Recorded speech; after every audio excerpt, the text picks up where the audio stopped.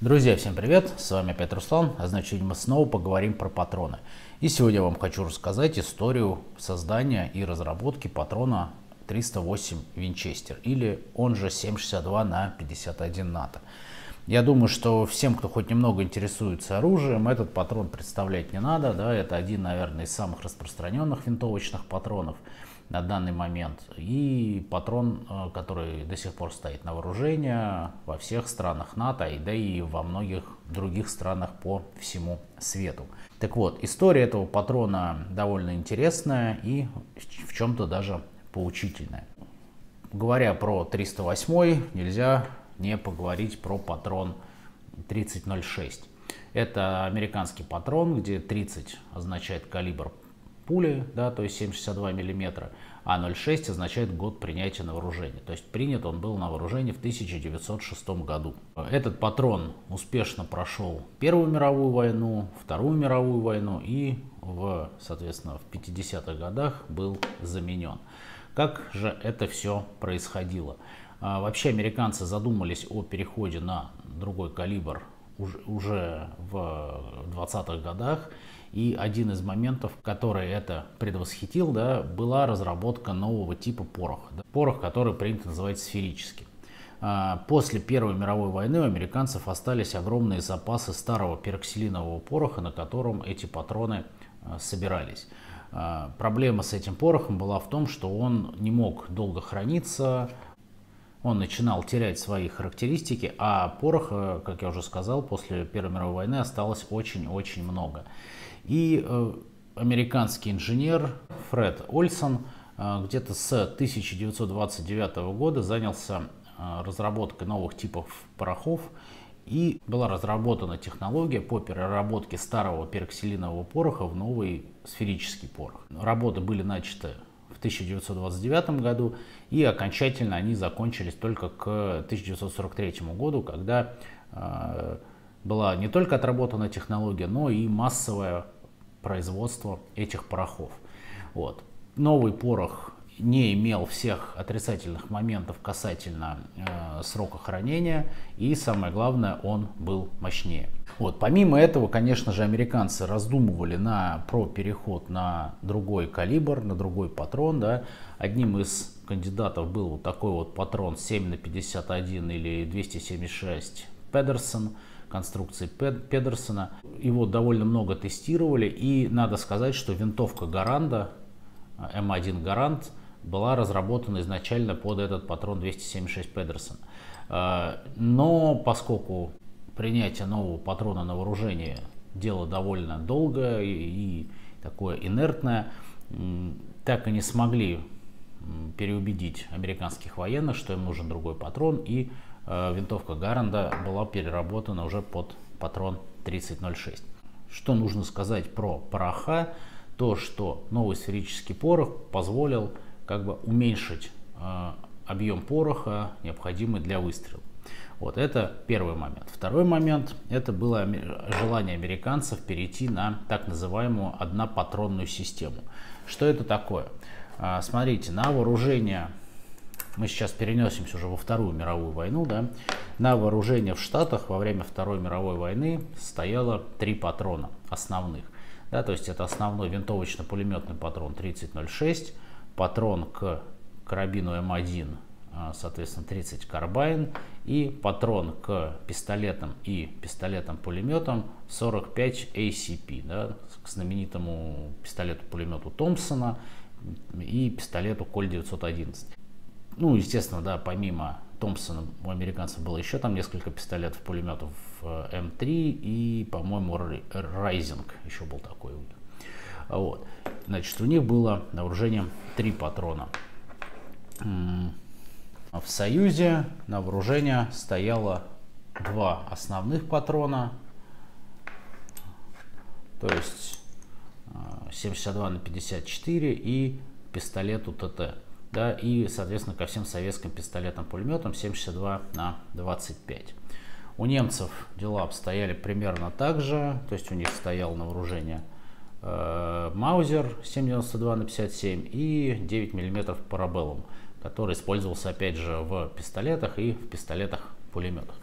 чуть позже у, амери... у немцев появился 72 на 33 курс. Хуже всего, конечно, дела обстояли у британцев, потому что у них была адский зоопарк в их системе вооружения, да, то есть у них был их основной патрон, так, давайте мы немцев уберем, 303 British, также они использовали американский М1 карабин, то есть у них был также патрон под карабин, у них был американские пистолеты-пулеметы Томпсон под патрон 45 ACP, у них были трофейные французские, ну не трофейные, а прихваченные с собой после ухода из Европы французские винтовки под 8 мм лебель и 7,5 мм МАС. А, также у них на вооружение были пулеметы Бесса под немецкий патрон 7,92 на 57. И э, это не считая их револьверных патронов и, соответственно, э, патронов 9 мм парабеллум. То есть представляете, какая головная боль была у британских снабженцев, когда им нужно было снабжать, давайте это все отодвинув в сторонку, снабжать армию вот таким вот количеством боеприпасов.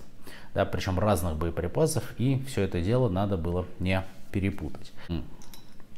Да, сразу напомню, скажу, что у нас, конечно же, на вооружении был еще патрон к револьверу Наган, но этот был патрон чисто револьверный, его, э, соответственно, Э, количество необходимое этих патронов по сравнению с основными винтовочно-пулеметными и патронами для пистолетов, пулеметов, их количество было ничтожно мало, поэтому можно его не учитывать.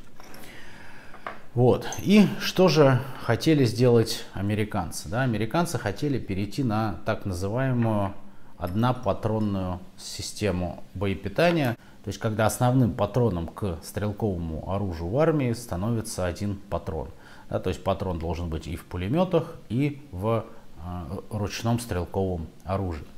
Э, в Советском Союзе, да, я немного отвлекусь, поступили по-другому. Да. В Советском Союзе уже с принятием на вооружение карабина СКС и позже автомата АК так и остались на двухпатронной системе, да, то есть просто патрон ТТ заменили на патрон Калашу. Да, и в итоге остался винтовочно-пулеметный патрон 7,62 на 54 и промежуточный патрон 7,62 э, на 39, соответственно, где были, э, под которые были пулемет РПД, СКС и АКМ. А американцев же такая, такая, такое дело показалось слишком сложным, и они хотели все вот эти патроны заменить одним патроном. Да?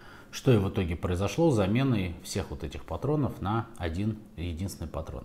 В принципе, да, такая логика кажется довольно э, правильной, да, за, потому что здесь только вот вы видите, что эти патрончики такие маленькие, легенькие, да, но когда речь касается большой войны и снабжения таки, такой огромной армии, как американская, Э, все вот эти патроны будут исчисляться вагонами, кораблями и так далее. И, естественно, намного проще и дешевле иметь один патрон вместо трех, который и производить будет легче, и снабжать армию им будет легче. И вообще как бы со всех сторон выглядит, что это только одни лишь плюсы. И, соответственно, американскими военными было принято решение о замене основного патрона – 3006 на патрон нового типа. Единственное, да, что не учли разработчики и вообще люди, которые принимали решения, это упертость американских генералов. Когда к ним пришли за требования на новый патрон, а, американские генералы сказали, все отлично, новый патрон нам нужен, но только у нового патрона должны быть характеристики такие же, как у старого патрона.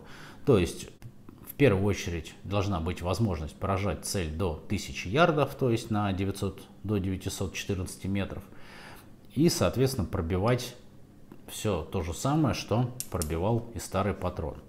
А, на все уговоры разработчиков, что это будет сделать сложно, это не решит всех возможных проблем, американские генералы говорили, нет, мы хотим.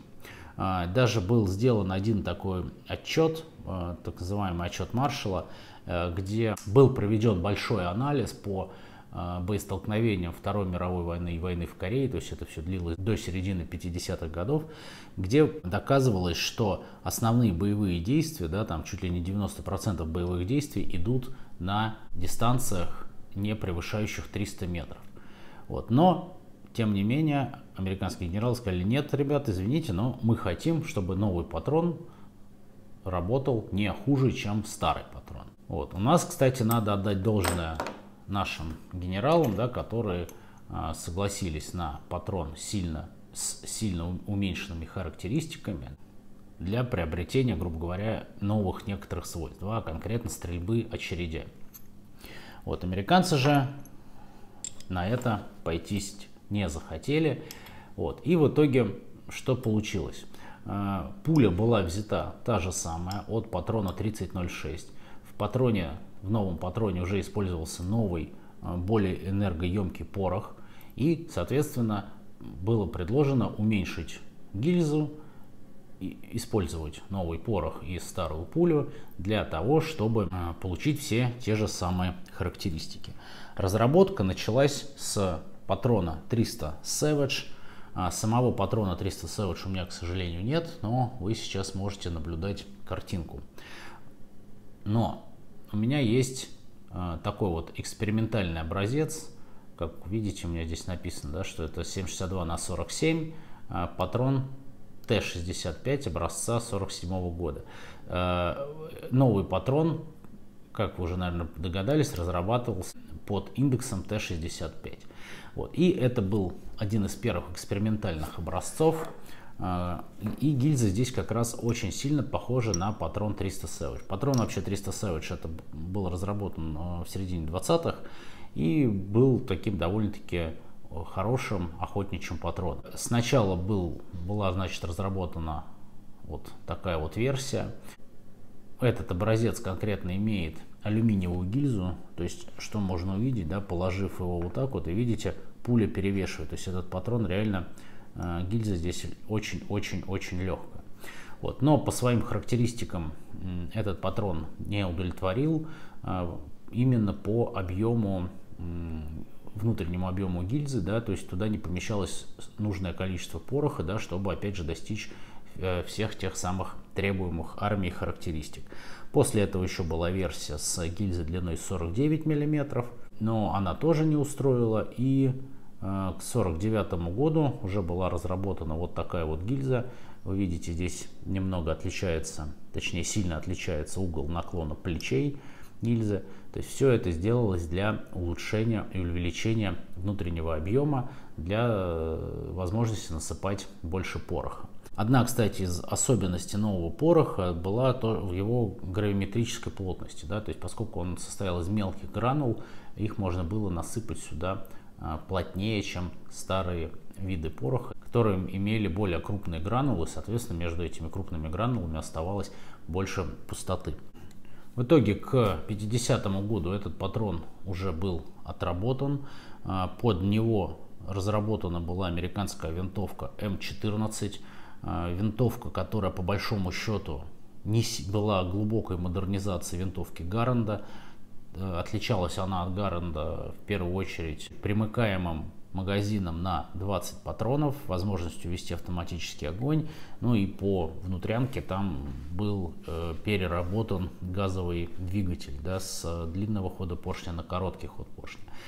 Так вот, винтовка при этом получилась довольно тяжелая, то есть э, весила она почти 5 килограмм в снаряженном виде и практически ничем не уступала винтовке Гаранда, да, которая весила. И, соответственно, стрельба автоматическим огнем из этой винтовки была вещью крайне-крайне интересной. Американцы, по большому счету, наступили на примерно на те же грабли, на которые у нас в Союзе наступили в конце 30-х годов при разработке автоматических винтовок э, под патрон 7,62 на 54. Да, то есть та же винтовка АВТ, автоматическая винтовка Токарева, имела возможность стрельбы очередями, но эта стрельба результатов приносила немного, да, потому что огромная отдача э, давала безумное рассеивание, которое, соответственно, уменьшало очень сильно вероятность попасть хоть куда-нибудь. Конечно же, патрон 308 был чуть слабее, чем наш, но американцам это помогало не сильно. Я слышал такую байку про винтовку М14, да, что э, когда новобранцы э, э, обучались стрельбе из этой винтовки да, в армии, опытные сержанты предлагали им такой спор. То есть молодые солдаты уже ознакомились с тем, как стреляет М14, как она может стрелять очередями, а сержанты предлагали, давайте типа поспорим на ящик пива, что я возьму эту винтовку и весь магазин очередью попаду в грудную мишень. Ну, молодые солдаты говорили, что да ладно, это невозможно, на что сержанты с ними спорили, брали эту винтовку, отстегивали ремень э, сзади, ну так, чтобы он крепился только за переднюю часть винтовки, наступали на него ногой, упирались и таким образом попадали, э, стреляли очередью и попадали всеми выстрелами в эту грудную мишень. Вот. Ну, так что потом расстроенные молодые солдаты шли и покупали сержанту ящик пива. Вот. Это э, я к чему рассказываю? Да, к тому, что стрелять а, автоматическим огнем из винтовки под такой патрон можно только вот с помощью каких-то таких ухищрений. После э, того, как этот патрон был принят на вооружение в Америке, американцы начали активно продавливать этот патрон в НАТО, при том, что э, были интересные варианты. Да? Например, вот такой вот экспериментальный патрон 7 на 49 был у британцев, которые как раз, кстати, использовали для его разработки вот идею патрона Педерсона. Э, наверное, этот патрон вообще заслуживает отдельного разговора потом. И в итоге под давлением американцев – патрон 7,62 на 51 НАТО был принят на вооружение во, во всех странах НАТО. Американцы его давили, давили, все оружие было сделано под него, в том числе и фанфал, который изначально планировался под британский патрон, и многое другое оружие, разработанное в Европе. Вот. Но долго это счастье не продлилось. Американцы э, уже во, во время войны во Вьетнаме поняли, что этот патрон все-таки слишком мощный, оружие под него слишком тяжелое.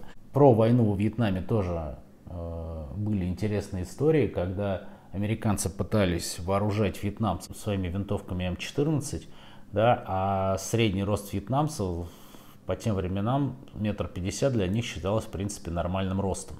Вот и как можете представить себе 15, полутораметрового вьетнамского солдата, да, речь, конечно, про солдата Южного Вьетнама, весом там килограмм 50 и с 5-килограммовой здоровенной винтовкой.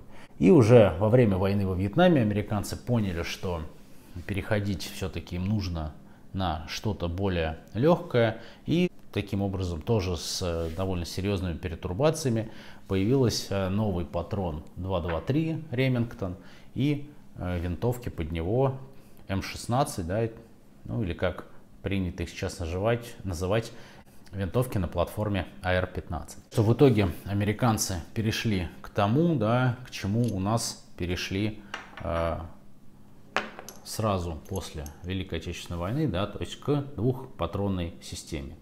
Правда, американцы пропустили в, этом, в этой гонке один этап, да, то есть у, у нас сначала был патрон 7,62, а потом стал 5,45. Американцы сразу пришли к малокалиберному патрону. И, в принципе, такая ситуация у них остается по данный момент.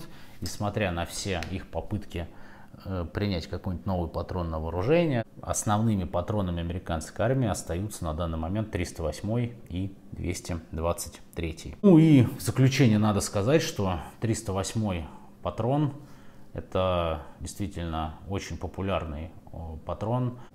На базе его гильзы разработано огромное количество других патронов и спортивных, и охотничьих, и развлекательных, и многих-многих других. Да? То есть если их только перечислять, наверное, только я на вскидку смогу вспомнить там штук 15 разновидностей, да, то есть когда на основе этой гильзы делается какой-нибудь какой другой калибр.